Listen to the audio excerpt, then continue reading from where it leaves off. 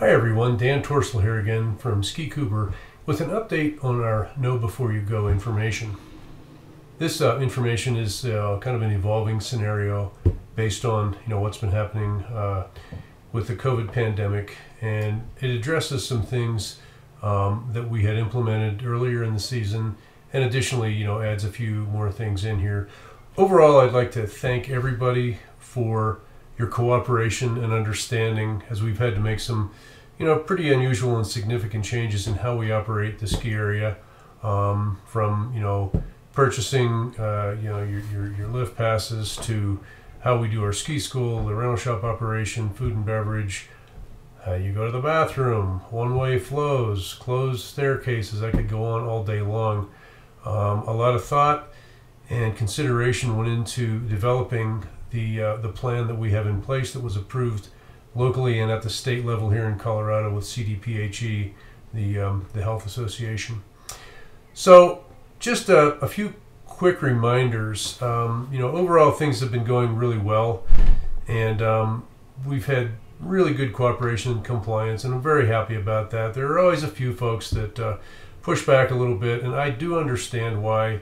Uh, this is kind of an unusual scenario. Hopefully, um, it, it starts to dwindle as we get you know toward the end of the season and, and over the summer so that we can get back to some semblance of old normal uh, going into next year.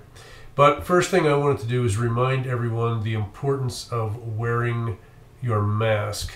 When you're in the base area you know once you get to the our port of entry our single uh, point gate where you get into the area uh, you must wear a mask. If you come without one uh, we will have um, ones available for you uh, to wear, and if you'd like to get um, a permanent one, we can show you uh, to a retail shop where we've got a nice selection there.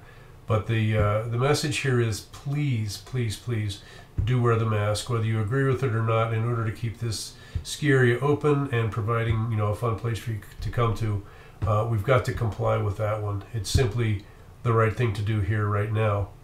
Um, so again, you, the base area in all the buildings in lift lines on the lift ride, um, please make sure that you do have the mask on.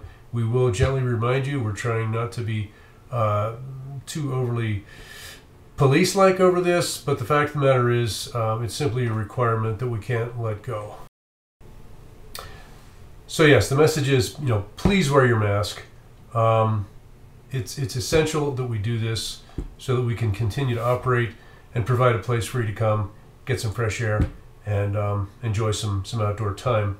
Um, along with the masking, I would ask you to please also um, maintain the six foot social distancing requirement um, in all cases. Um, it's very important uh, that we don't congregate. So, uh, next thing, the next reminder is that um, you know we need you to keep all personal belongings other than those things which you can keep on your person in your pockets or in a small backpack. Keep them in your vehicle. Um, don't bring them. Uh, you won't be allowed to go past unless you sneak past and i certainly hope that uh, you good people don't do that. Um, they shouldn't come past the our port of entry. Um, so leave extra bags extra clothing food um, the list goes on and on of things that we're used to to bringing into the ski area. Um, but this year, with with the COVID situation going on and the plan that we have in place, um, it is necessary for you to keep things stored in your car. You know, the the, the big saying at most of the areas uh, this year is make your car your mini lodge. Um, if you're going to bring, uh, you know, a cooler of food, leave it in the car. Um, head out at uh, whatever your lunchtime is and enjoy your lunch at the car. Uh, but please do not bring it into the area um, or we'll ask you to take it back out. so it's not that big of a deal. Um, if you do have food in a small backpack or in your pocket, please uh, bear in mind that you want to eat that outdoors on the lift whatever. Um, our space in the lodge, due to the COVID restrictions uh, under which we have to operate, is very limited right now. And um, so our seating is very, very limited. Um, and so one of the uh, one of the caveats there is please do not bring food into any of the buildings into the lodge. Uh, and plan on eating it there, we will kindly ask you to uh, to take it back out. Uh, we've got signs posted. It's online. Um, so you know, please cooperate with this one. It puts uh, some of the folks here in a really sticky situation um, when people push the limit with that one. Um, I do understand the frustration level with that, but for the time being, this is the way we've got to operate. So far, I think it's been uh, been going pretty well with with few exceptions. Um, so a few other things that may be new since uh, the first couple of videos that we did.